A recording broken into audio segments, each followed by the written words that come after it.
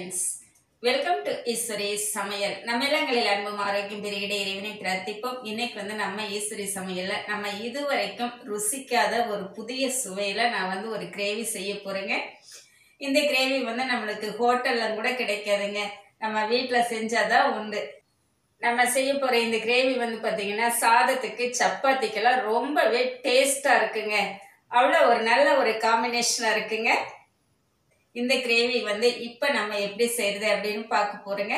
இந்த வீடியோ பார்க்கறதுக்கு முன்னாடி நம்மளுடைய ஈஸ்வரி சமையல் சேனலை வந்து சப்ஸ்கிரைப் பண்ணிக்கோங்க. கூடவே இருக்கிற பெல் சிம்பிளையும் கிளிக் பண்ணிக்கோங்க. இப்போ இந்த ரெசிபி எப்படி செய்யலான்ட்டு பார்க்கலாம் வாங்க. இப்போ வந்து நம்ம முருங்கைக்காய் கிரேவி செய்யறதுக்கு நம்ம வெங்காயம் வதக்கி எடுக்க போறோங்க. சரிங்க நல்லா இந்த அளவுக்கு நல்லா ஒரு கைப்பிடி அளவு வெங்காயம் எடுத்துக்கலாம். ஒரு ரெண்டு ஸ்பூன் எண்ணெய் விட்டுக்கலாங்க.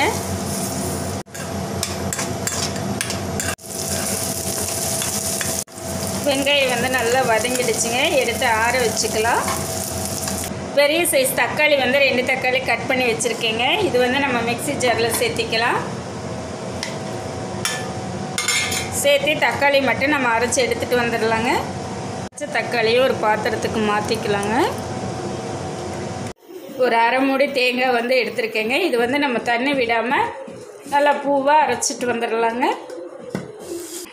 நம்ம தேங்காய் அடித்து எடுத்துகிட்டு வந்துட்டேங்க. நல்லா ஒரு ஐம்பது கிராம் அளவு வந்து நடக்கலை பருப்பு வறுத்து வச்சுருக்கேங்க. அதுவும் சேர்த்திக்கலாம்.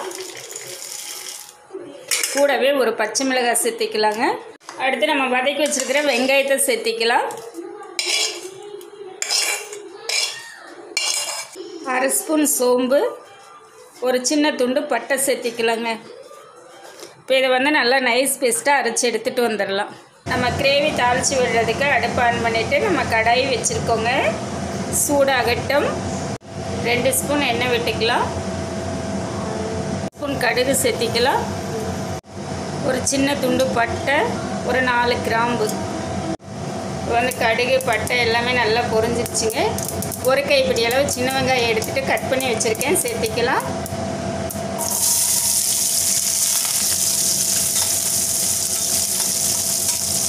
வெங்காயம் வதங்கட்டுங்க.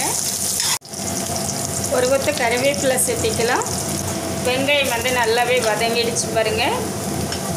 இந்த டைமில் நம்ம அடித்து வச்சுருக்கிற தக்காளி வந்து சேர்த்திக்கலாங்க.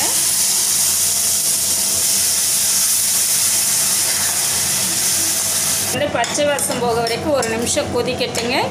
ஸ்பூன் இஞ்சி பூண்டு பேஸ்ட்டு சேர்த்திக்கலாம்.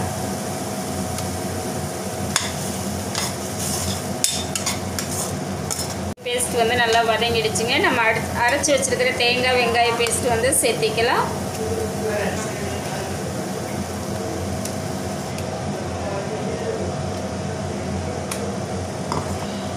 கொஞ்சமாக தண்ணி விட்டுட்டு அதையும் கழுவி சேர்த்திக்கலாங்க.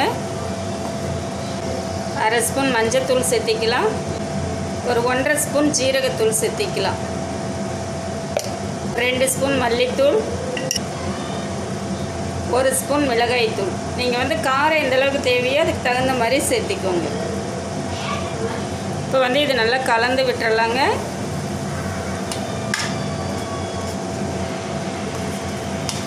இது எல்லாமே கலந்துட்டேங்க. ஒரு நிமிஷம் இருக்கட்டுங்க. நல்லா அந்த பச்சை வாசமெல்லாம் போகட்டும். நம்ம மசாலா வந்து ரெ- ரெண்டு நிமிஷம் விட்டுட்டேங்க. இப்போ வந்து நம்ம கட் பண்ணி வச்சுருக்கிற முருங்கைக்காய் வந்து சேர்த்திக்கலாங்க.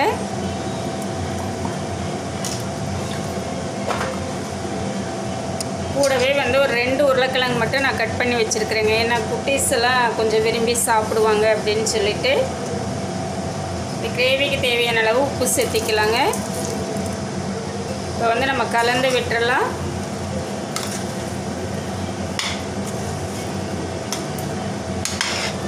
இது வந்துட்டு நல்லா அந்த மசாலாவெல்லாம் பிடிக்கட்டுங்க. ஒரு ஒரு நிமிஷம் மூடி போட்டு விட்டுறலாங்க. இப்போ நம்ம வச்சு ஒரு நிமிஷம் ஆச்சுங்க. இப்போ நம்ம இந்த காயெல்லாம் வேகிறதுக்கு நம்ம நல்லா ஒரு சிம்பளவு தண்ணி சேர்த்திக்கலாங்க.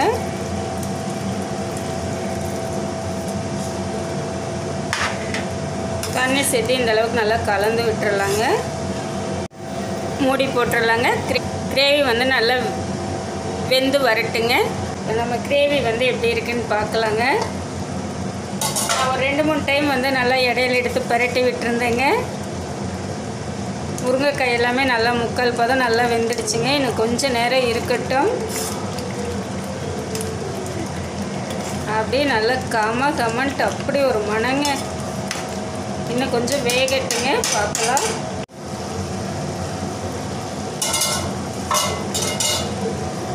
நம்மளோட கிரேவி வந்து சூப்பராக ரெடி ஆகிடுச்சுங்க காயும் வந்து நல்லாவே வெந்துடுச்சு பார்த்தீங்களா? கலர் எல்லாம் மாறி நல்லா தெரியுது பாருங்க சேஞ்ச் உங்களுக்கா. மேலே வந்து நம்ம ரெண்டு கறிவேப்பிலை பிச்சு போட்டுக்கலாங்க. மல்லி இலை இருந்ததுன்னா மல்லி இலை கூட சேர்த்திக்கலாங்க. அவ்வளோதாங்க நம்மளுடைய முருங்கைக்காய் கிரேவி வந்து நல்லா ஜம்முன்னு சூப்பராக ரெடி ஆகிடுச்சிங்க இப்போ வந்து நம்ம எடுத்துக்கலாங்க. என்னங்க நான் செஞ்ச இந்த ரெசிபி வந்து உங்களுக்கு ரொம்பவே பிடிச்சிருக்கும்னு நினைக்கிறேன். இந்த கிரேவி நீங்களே செஞ்சு பார்த்துட்டு எப்படி இருக்குன்ட்டு கமெண்ட் பண்ணுங்க. பிடிச்சிருந்தா லைக் பண்ணி ஷேர் பண்ணி நம்ம சிறு சமையலை சப்ஸ்கிரைப் பண்ணி கூடவே இருக்கிற பெல் சிம்பிளையும் கிளிக் பண்ணிக்கோங்க. தேங்க்ஸ் ஃபார் வாட்சிங்